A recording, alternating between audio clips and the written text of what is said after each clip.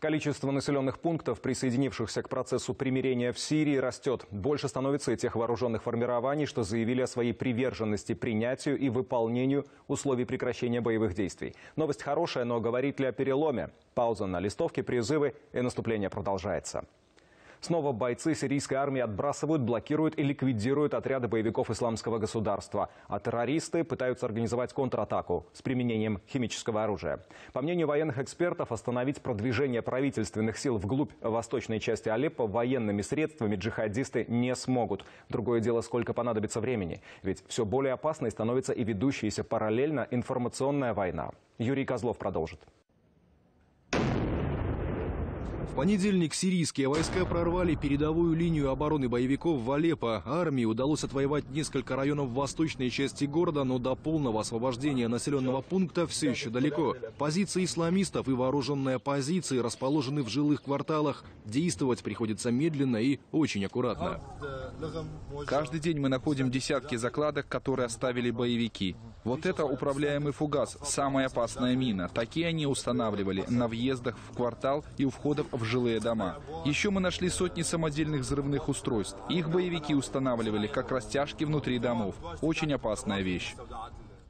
По оценкам экспертов, всего в контролируемой боевиками восточной части Алеппо находится около 275 тысяч человек. Еды и лекарств не хватает. Последний конвой с гуманитарной помощью ООН приходил сюда две недели назад. Мы жили в мире и процветании, пока не пришли террористы. У нас было все, а теперь мой дом разрушен, жить негде, будь они прокляты. Генеральный секретарь Организации Объединенных Наций назвал ситуацию в Алеппо коллективным провалом. Пан Гимун отметил, что в Сирии продолжают гибнуть мирные граждане, в том числе дети. В сложившейся ситуации руководитель Всемирной организации обвинил руководство Арабской Республики. Официальный Дамаск отмечает, что правительственные войска воюют исключительно с террористами. Взаимные обвинения в гибели мирных граждан продолжают приводить и к пикировкам между внешнеполитическими ведомствами России и США. Неделю назад представитель Госдепа Джон Кирби нагрубил журналистке телеканала Russia Today Гаяне Чичакян в ходе традиционного брифинга. Дипломат, заявивший, что Россия наносила авиаудары по сирийским больницам, отказался предоставить доказательства своим словам, а саму Чичакян обвинил в непрофессионализме. Вы не считаете важным привести конкретный список тех больниц, в обстреле которых вы обвиняете Россию? Ведь это серьезное обвинение. Я не выдвигаю обвинения, я лишь говорю, что к нам поступили сообщения от заслуживающих доверия гуманитарных организаций о том, что пять больниц и по меньшей мере один мобильный госпиталь... Какие? В каких городах хотя бы? Вы можете ознакомиться со сведениями сирийских гуманитарных организаций, информация которой мы располагаем поступает в том числе и от них. Но вы ссылаетесь на их сообщения без какой-либо конкретизации. Потому что мы считаем, что этим организациям организациям можно доверять. В итоге за сотрудницу Рашатуды заступились даже американские коллеги. Госдепу пришлось принести извинения. Кстати, позже стало известно, что обвинения Кирби основывались на докладе Всемирной организации здравоохранения. В нем осуждались удары по сирийским медучреждениям. Вот только о причастности к этим инцидентам российской авиации в документе не было ни слова. Вы никогда не называете точно координат, дат и мест тех объектов, которые вы считаете, которые вы считаете, по вашему мнению, были разрушены сирийской армией при поддержке ВКС России. Никогда. Зато факты нанесения ударов по мирным районам Алеппо вооруженными боевиками американские дипломаты официально признали и даже осудили на заседании Совбеза ООН. Впрочем, сразу после этого постпред США Саманта Пауэр обвинила сирийских офицеров в совершении военных преступлений. США осуждают удары, нанесенные по западному Алеппо силами оппозиции. С 1 ноября эти атаки унесли около 60 жизней, и мы согласны с Россией, что таким нападением не может быть оправдания. Но у меня вопрос, признает ли когда-нибудь Россия хоть один авиаудар, нанесенный режимом Асада по гражданским целям? Последние информационные вбросы насчет нападений на гражданские объекты носят исключительно пропагандистский характер. Они не подтверждаются данными объективного контроля. Если ориентироваться на эти сообщения, то сирийцы якобы только и делают, что бомбят больницы, как будто нарочно наращивая интенсивность в преддверии заседания Совета Безопасности. Если суммировать все интернет-данные по атакам на медицинские учреждения – можно удивиться количеству лечебниц, которым не располагала довоенная Сирия. При этом каждый раз утверждается, что больше работающих больниц не осталось.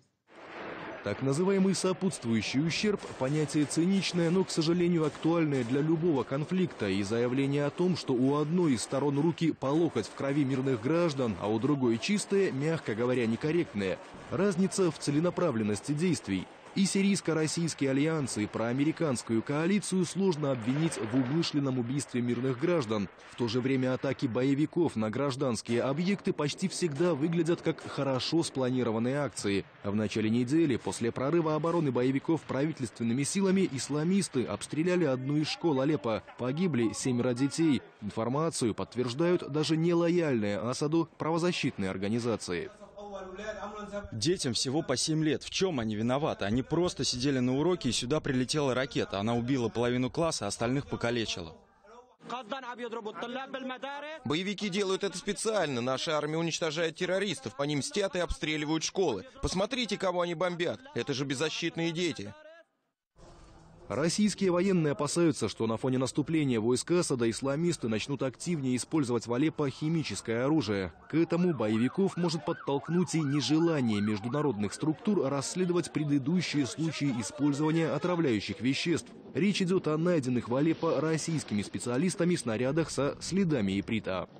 Мы, как вы знаете, по линии нашего Министерства обороны незамедлительно обратились в Гаагу к руководству Организации по запрещению химического оружия с просьбой направить, срочно направить своих экспертов в Алеппо и э, поучаствовать в анализе этих проб.